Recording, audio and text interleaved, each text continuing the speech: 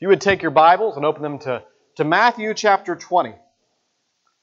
Matthew chapter 20, beginning in verse 29. And as you're turning there, you know, uh, before I came to seminary a couple years ago, I used to work in the marketing department of a company that was based in Georgia. This was right after college. I was pretty new to everything at that point. I was only there about a year and a half, but I learned a ton of things in this marketing job. in particular, I learned about how new products are rolled out. People would, would work behind the scenes for months and months and months. They would prepare and they would plan and they would get all these things ready. And they would keep this new idea, this new product under wraps until it was time to debut it. And then at the perfect time, it was all planned out, at the perfect time, they would flip the switch. They would announce the new product. They'd say, Here we are, check out what we've got going on. Well, as we've been studying the book of Matthew, we have seen Jesus here work behind the scenes for three years of his ministry. He's been, he's been working, he's been planning, he's been preparing, he's been keeping his identity under wraps. And now, as he enters Jerusalem in the final week before his crucifixion, he flips the switch. No more hiding, no more secrets, no more ambiguity. Here I am. This is who I am. I am the Messiah. And today, as we continue our study of the book of Matthew, Jesus is going to reveal himself to be the Messiah in three different stories and in three different ways. The first is that Jesus reveals himself to be our merciful Lord. Look at Matthew 20, verse 29. And as they went out of Jericho, a great crowd followed him. And behold, there were two blind men sitting by the roadside. And when they heard that Jesus was passing by, they cried out, Lord, have mercy on us, son of David. The crowd rebuked them, telling them to be silent, but they cried out all the more, Lord, have mercy on us, son of David. And stopping, Jesus called them and said, What do you want me to do for you? They said to him, Lord, let our eyes be opened. And Jesus, in pity, touched their eyes. And immediately they recovered their sight and followed him. So Jesus here has been on this single minded trek towards Jerusalem for the Passover. And on his way, he travels through Jericho. Y'all remember Jericho, right? The walls came tumbling down in Jericho. This is about 1,400 years after those walls came a tumbling down. So Jesus comes through Jericho, and as he leaves, there's two blind men who cry out, Lord, have mercy on us, son of David. And they call him son of David. That's a, a messianic term. That means they, they know that this is the Messiah. They know who Jesus is. And the crowds rebuke him for making this kind of fuss, but they keep going. They persist. Lord, have mercy on us, son of David. So get this as Jesus approaches the final week of his life, the first to see Jesus, to see him for who he truly is, are two blind men. Catch the irony there? The only people who see Jesus for who he truly is are people who can't see at all. And Jesus hears them. He asks them what they want, and they reply, We want our eyes to be open. And most people would keep a safe distance from these men. I mean, you don't want to touch what they have. You don't want to get the germs or whatever that caused their blindness. But Jesus is different. And in pity, he touches their eyes. And instantly they're healed. Instantly they can see and they follow Jesus. Now, usually Jesus follows up on such a healing with a command to be silent. He would usually say, Don't tell anyone what happened.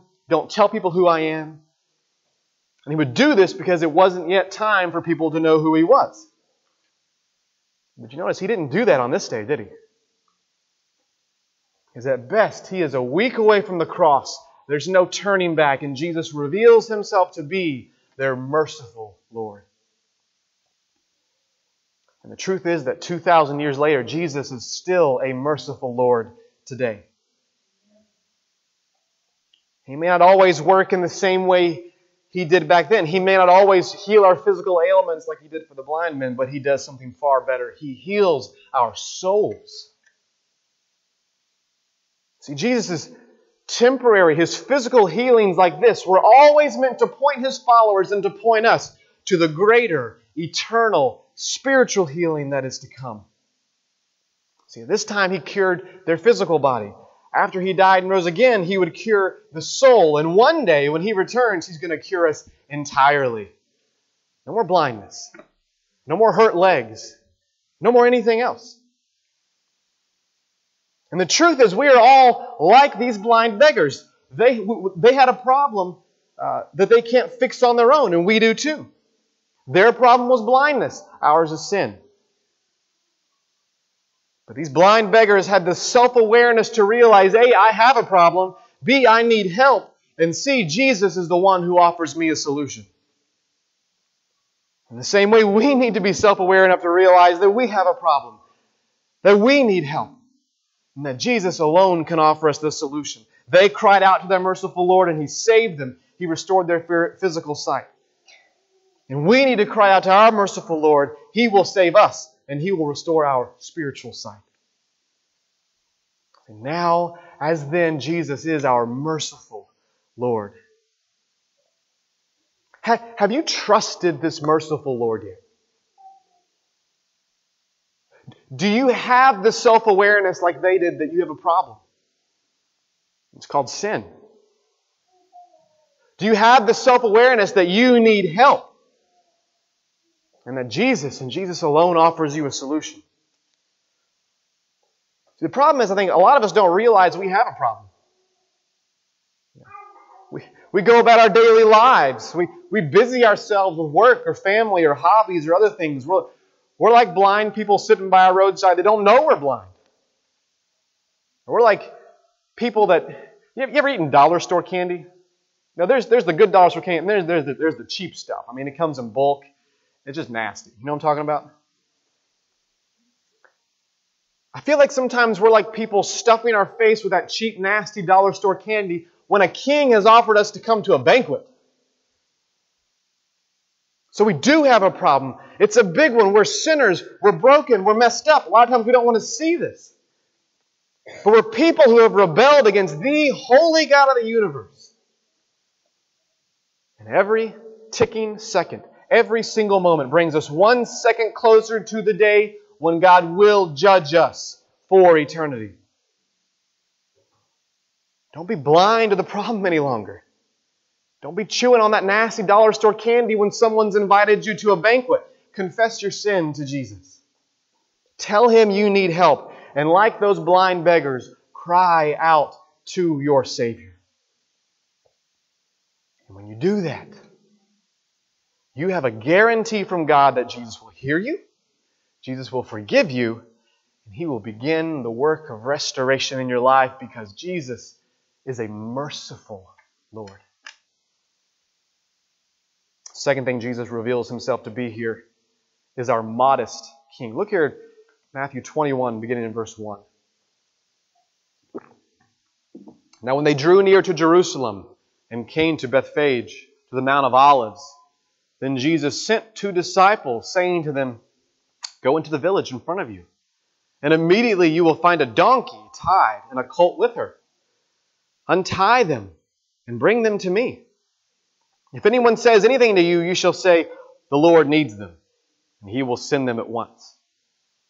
This took place to fulfill what was spoken by the prophet, saying, Say to the daughter of Zion, Behold, your king is coming to you humble and mounted on a donkey, on a colt the foal of a beast of burden. The disciples went and did as Jesus had directed them. They brought the donkey and the colt and put, put on them their cloaks, and he sat on them. Most of the crowd spread their cloaks on the road, and others cut branches from trees and spread them on the road. And the crowds that went before him and that followed him were shouting, Hosanna to the Son of David! Blessed is he who comes in the name of the Lord! Hosanna in the highest! And when he entered Jerusalem, the whole city was stirred up, saying, Who is this? And the crowd said, This is the prophet Jesus from Nazareth of Galilee. What we just read there is the traditional Palm Sunday story. And if you were in Sunday school this morning, I hope you were, then you already covered this pretty thoroughly. Uh, I'm sure Dan and AC really dug in deep and y'all, y'all learned about what this is going on in this passage. So I'm not going to spend a ton of time on here, but I, I do want us to look about what this passage says about Jesus. See, as they get closer to Jerusalem, Jesus orders two of his disciples to go get a, a donkey and a colt. It's possible he made these arrangements beforehand. It's more possible, more likely that this is just God's sovereign power at work. Jesus has orchestrated all this to, to fit together at the right time. And either way, he gets the donkey, he gets the colt, and he enters Jerusalem riding on this donkey. And as he makes his way in, crowds surround him and they lay their cloaks on the ground in front of him. They lay palm branches on the ground in front of him. This was kind of like the first century equivalent of laying a red carpet from someone. And as Jesus trots in, the crowd shout, Hosanna, which literally means save. Hosanna to the Son of David. Blessed is he who comes in the name of the Lord. Hosanna in the highest.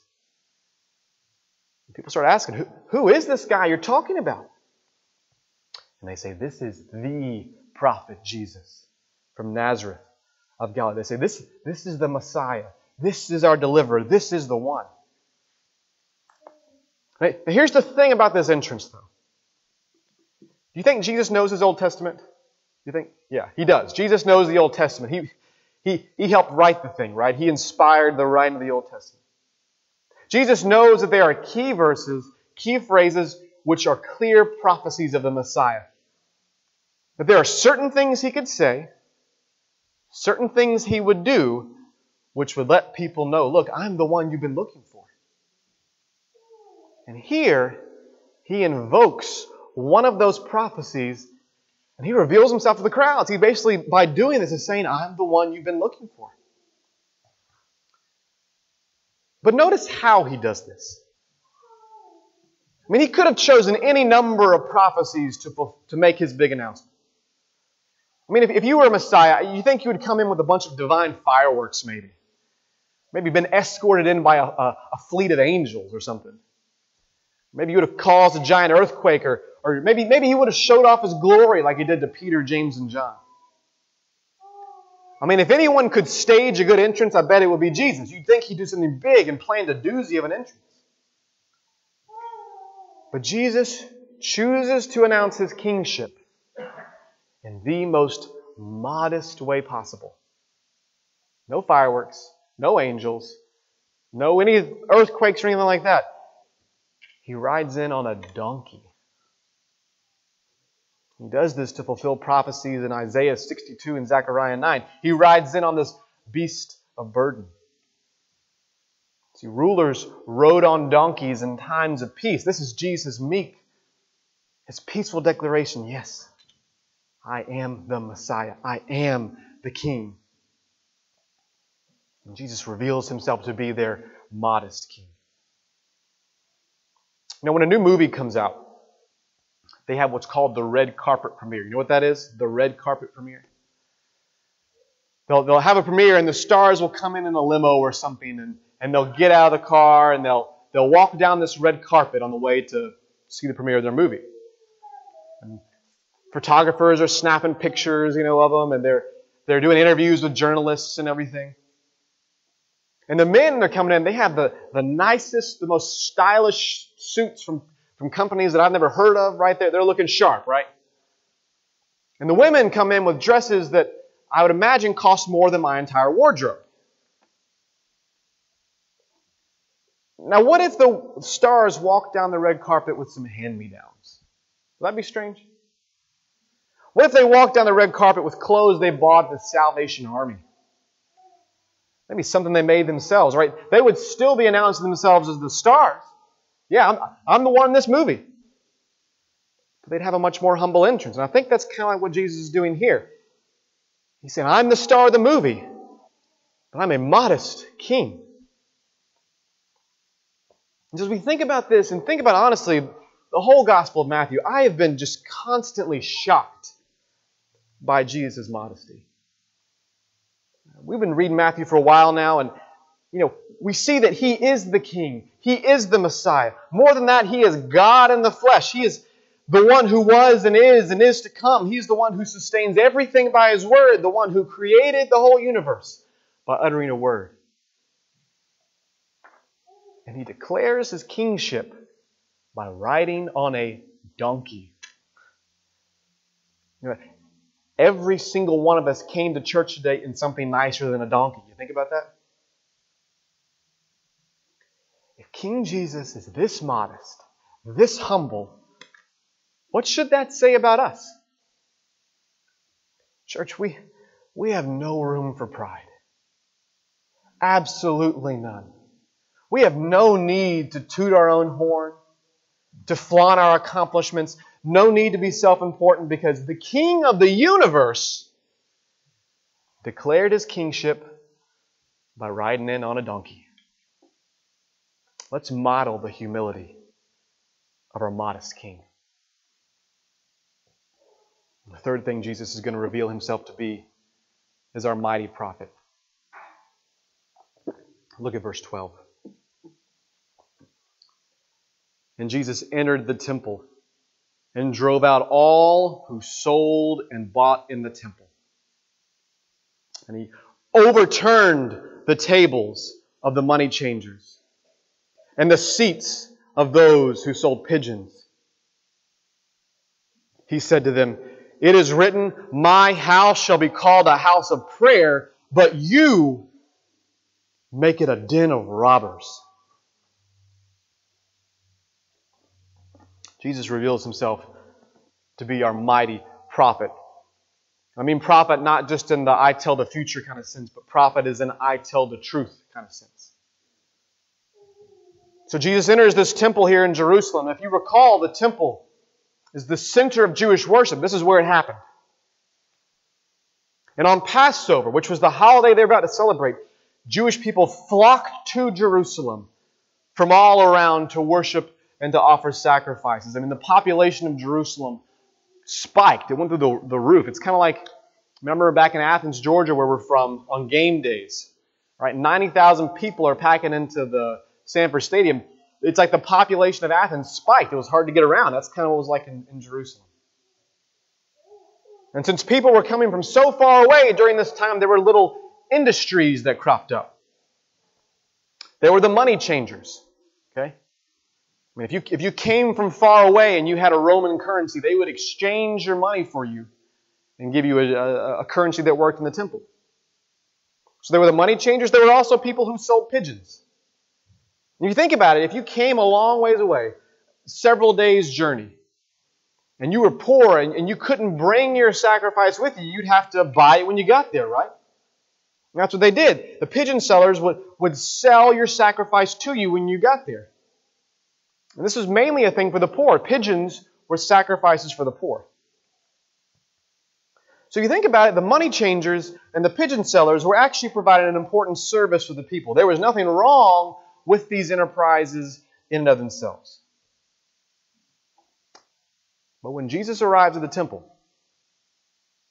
he sees these things.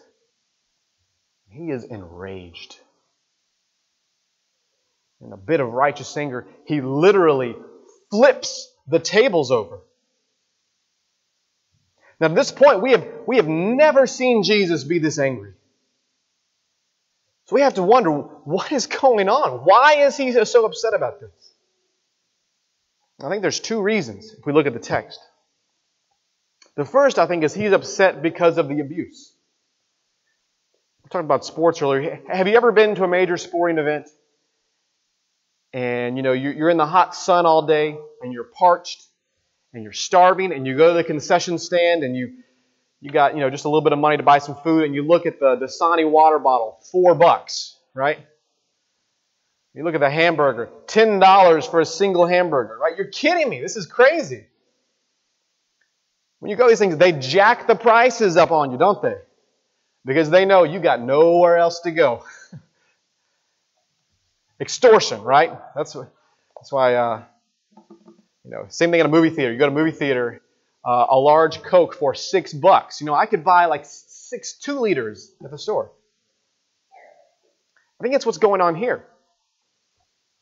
Money changers and pigeon tellers would take advantage of the poor. They would jack the prices up because they knew these people had nowhere else to go. Jesus says, Look, my house shall be called a house of prayer. You make it a den of robbers. In other words, these people are here to worship and you are extorting them. Shame on you. This passage should teach us look, Jesus takes greed and extortion really seriously, particularly among his people of faith. Community of faith is not the right place for making a dime. In other words, we shouldn't cheat or extort anyone, but particularly people of faith. Few things enrage Jesus like taking advantage of your brother or sister in Christ. So, one reason Jesus is so upset is because of the extortion, because of the abuse. The second reason he might be upset, and this is a little bit more subtle, Jesus is probably upset about the location of where this is happening. See, the temple in this day had a lot, of multiple layers. If you were here when Andy Cook was here, he, talked about this. The inner layer was the Holy of Holies. This is where one priest, one time a year, could go in and, and experience the presence of God. Outside of that, we had what was called the Court of Israel. This is where men could worship. Outside of that, you had the Court of Women. This is where the Jewish women could worship. And outside of that, you had the Court of Gentiles. This was for the non Jews who worship the true God. And there were many of them, non Jews, who worship the true God. Now, do you know where all this money changing and pigeon selling took place? Certainly wasn't in the Holy of Holies. Wasn't in the court of Israel. Wasn't in the court of women. It was in the court of the Gentiles. The court of the Gentiles. This was supposed to be the place where non Jews could come and worship the true God of the universe. This was, as Jesus said, a house of prayer.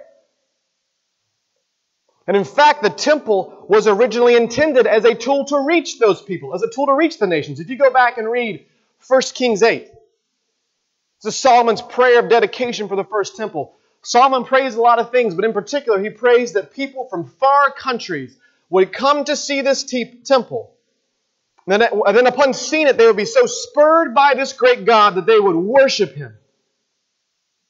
They would worship Him probably in the court of the Gentiles. And if you or I were to get in a time travel ship and go back in time, this is where we would have worshiped. So the temple was supposed to be a place where anyone could come and worship God. It was supposed to serve a missionary purpose where anyone, even non Jews, could come and worship God. But there, and the court of the Gentiles, the only place where non Jews could worship, they were crowded out by commerce. As if all those non Jews weren't important. As if God didn't care about their souls. So when Jesus says, My house shall be called a house of prayer, but you make it a den of robbers, you know what that word robbers can also be translated as? Insurrectionist. An insurrectionist was a Jewish nationalist, someone who thought the Jews were superior to everybody else and they wanted to take violent actions to make that the case. Jesus then is so grieved by the extortion, yes, but also by the ethnocentrism. He is moved to righteous anger. Jesus is a mighty prophet. He is a fierce a righteous teller of truth even when that truth hurts. So, this passage, I think, teaches us that Jesus takes ethnocentrism really seriously, particularly among his people. Jesus gets angry when people use their race or their skin color or their ethnic heritage as a weapon against someone else. He gets angry when people limit others who are different from them from worshiping the true God. Because the truth is, and the gospel says, that Jesus came to save people from every country, every language, and every skin color. If you go all the way back to Genesis chapter 12, God tells Abraham, Look, through you, all the nations of the world will be blessed.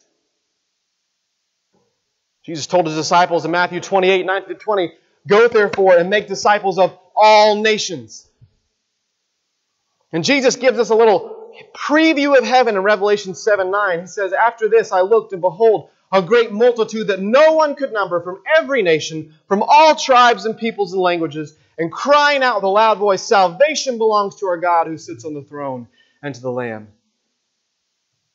And praise God that this is so, because if that were not the case, none of us would have had a shot. We are all a part of those nations that Jesus was talking about. We weren't born in a Jewish land. We don't have Jewish parents. We're, we're Gentiles from Castalia, North Carolina. Jesus loves and saves people from all nations, all skin colors, all languages, and praise God for it because we have hope because of that truth. And if Jesus loves all people from all nations and all skin colors and all languages, then so should we. You know, talking about race isn't easy. Um, it's uncomfortable. To be honest, I'm not the best at doing this. But sometimes, oftentimes, in the gospel, in the gospel of Matthew, Jesus takes us to uncomfortable places, doesn't he? I mean, if I look at the stuff that we've had to look through so far, Matthew, we've preached on divorce and remarriage and church discipline and hellfire and brimstone. And every week I'm looking at this and saying, what in the world? If we claim to be his followers, we have to go there with him. As I, as I looked at this passage this week, looked at my own heart, we got to be honest with ourselves. Because I think, truthfully, our religious heritage has messed this up more times than we've gotten it right. I'll tell you a story that puts a face to this. I read a story this week about a man who lived 100 years ago. And it hit me so much because this man was a lot like me. He lived in North Carolina, just like me. He attended the old Wake Forest College before it moved to Winston-Salem. Southeastern Seminary is now on that campus. And so I walked the same paths that he walked. He became a Baptist pastor in Raleigh. I'm a Baptist pastor in Castalia. He wrote a series of, of really popular books. I mean, at their height, one in every eight Americans owned one of his books. And, and those books were turned into one of the most popular movies of his era. You know what? As someone who has illusions of, of writing things that people might want to read one day, thought that sounds great. At this point, I'm thinking this guy is just like me. He, he's a Southern Baptist. He's a he's a pastor.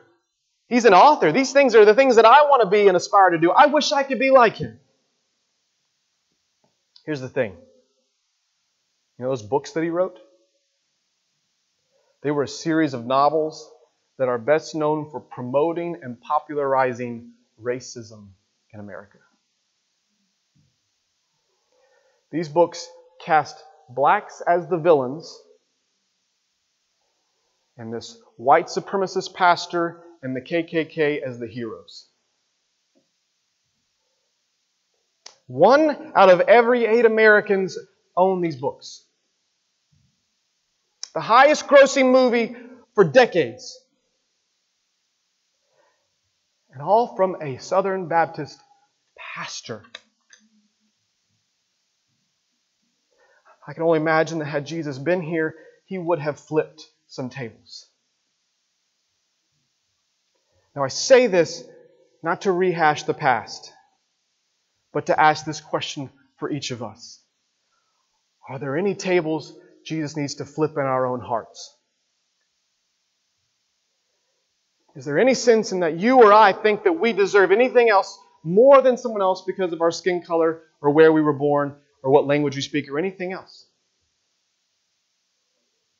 Is there anyone who, if they walked in a room, we would think less of them because of any of those factors?